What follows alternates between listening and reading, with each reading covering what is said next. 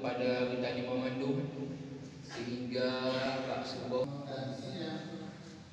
Syederalun, Bupati Biren Muzakar Agani, subuh tadi memulai gerakan penggunaan masker bersama seribuan santri dari Dayah Alma Dinatudiah Blang Bladeh Jempa.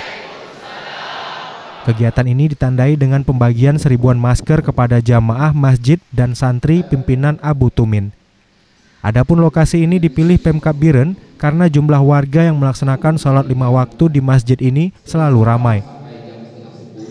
Sementara Muzakar dalam sambutannya mengajak para santri serta masyarakat agar mengenakan masker sebagai langkah memutus mata rantai penyebaran COVID-19 di Biren. Menurutnya hingga kini penyebaran COVID-19 di Biren masih cukup mengkhawatirkan. Dari Biren, Yusmandin Idris, Serambi On TV.